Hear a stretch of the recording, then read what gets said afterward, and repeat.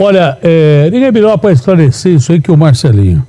Marcelinho, afinal, você saiu com essa moça, você teve caso com essa moça, você não teve caso com essa moça. Enfim, qual é a história verdadeira desse negócio todo aí? O Datena, você sabe o quanto, o quanto, o quanto que eu te respeito, Datena, e assim, eu sou jornalista, sabe? E assim, é, antes das pessoas divulgarem as coisas, ela tem que saber na veracidade dos fatos. Eu estou com o doutor Nico aqui, a equipe toda do DAIS, o trabalho brilhante da Polícia Militar. Entendeu? Entendi. E aí é o seguinte, ó, a Thaís é minha amiga, eu fui secretário de esporte, a, a, conheço ela há três anos. Não saí com ela, não tenho nada com ela, ela é minha amiga, ela é minha amiga, entendeu? Você nunca não... teve caso nenhum com ela. Pronto, acabou. É isso que você quer dizer eu tive porque eu respeito ela, respeito o ex-marido dela, o Márcio, os dois filhos dela, a família dela, entendeu? Uma mulher batalhadora, uma mulher guerreira e tudo. E é minha amiga, como são as pessoas todinhas da secretaria, são minhas amigas. O que, que pode ter acontecido, Marcelo? Alguém ficou sabendo de alguma coisa e quis usar esse pretenso relacionamento para tirar dinheiro seu? É isso? Até, tirar dinheiro foi o que, o que fizeram lá. E outra coisa, me forçaram a fazer aquele vídeo, tanto eu quanto ela. Você com revólver na cabeça, você vai falar isso, isso, isso. O que, que você faz? Eu falo. Então, exatamente. É, foi o que eu falei aqui. O, o que eu temia é que houvesse mesmo. O Marcelinho está agora falando em coletiva. Vamos ouvir então agora o Marcelinho Carioca. De esporte no município de Itaquá, que eu respeito muita gente conheço ela e todas as outras pessoas. Então o fato do sequestro é o quê? Eu fui pro show do Tiaguinho no sábado e saí de lá por volta de meia-noite e quarenta na Neoquímica Arena. Saí de lá mais ou menos uma hora, voltando para casa, eu moro em Arujá, e eu passando, sempre falando com ela e com as outras pessoas que iam no show de domingo.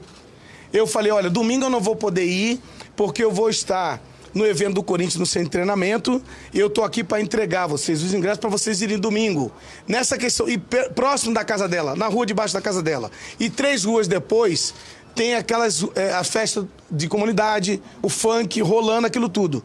Questão de eu chegar ali e conversar com todo mundo que estava ali em frente à casa dela. Chegaram três indivíduos e me abordaram. E aí eu tomei essa coronhada, na minha cabeça. Depois eu não vi mais nada. Quando entrei no carro, já colocaram o capuz, eu não, eu não, eu não vi mais nada. Você foi levado no seu carro, Marcelinho? No carro, exatamente. Carro. No meu próprio carro. Não, não é melhor deixar ele. Eu vou chegar nesse ponto, eu vou chegar nesse ponto. E aí, aí qual é o repórter, qual é o seu nome? Gudrian. Gudrian, se você tem uma arma apontada na sua cabeça e a pessoa te obriga a você falar, o que, é que você faz? Não, estou te fazendo uma pergunta agora. Como jornalista também. O que, que você responde? Eu, não, eu tô te perguntando. Não, não, lugar? Você grava, você faz. Perfeito, sua pergunta é inteligente. Exatamente o que eu fui obrigado a falar. Só que eu tô aqui falando. A Thaís é brilhante, uma mulher guerreira, uma mulher de fibra, uma mulher família, mulher trabalhadora, que nós não temos nada a ver. Simplesmente a amizade. Vocês sequestraram por quê, Marcelo? Queriam dinheiro? O que, que eles falavam para você? Mano, eu vi tanta coisa, tanta coisa que eles que exatamente que queriam, queriam dinheiro e levaram, né? O dinheiro não estava preocupado com dinheiro, eu estava preocupado com a minha vida, a vida dela e tudo, porque você é encapuzado, você, você não, não, não, vê nada, só escuta pedindo para ir no banheiro, pedindo para água, então deram água, é, comida. Ofereci... Foi aleatório, Marcelo? Foi aleatório? Você conhece o relâmpago? Sabia Sim. que era você? Não, o carro, o carro, o carro filmado, o carro.